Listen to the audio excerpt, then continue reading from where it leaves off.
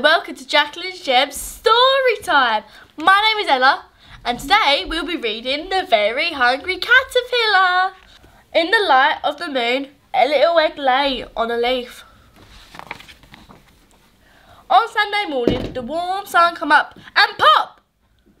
Out of the egg came a very tiny but very hungry caterpillar. He started to look round for some food. On Monday, he ate through one apple, but he was still hungry. On Tuesday, he ate through two pears, but was still hungry. On Wednesday, he ate through three plums, but he was still hungry.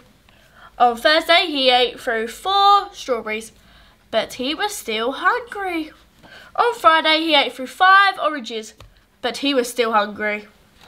On Saturday, he ate through one piece of chocolate cake, one ice cream cone, one pickle, one slice of Swiss cheese, one slice of salami, one lollipop, one piece of cherry pie, one sausage, one cupcake, and one slice of watermelon.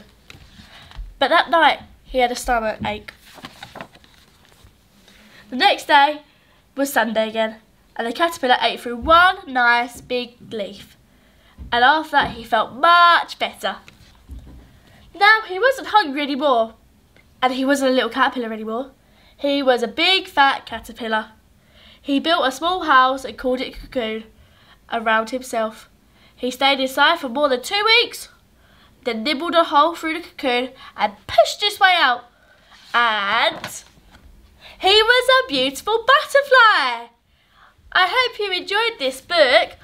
I really did. See you soon!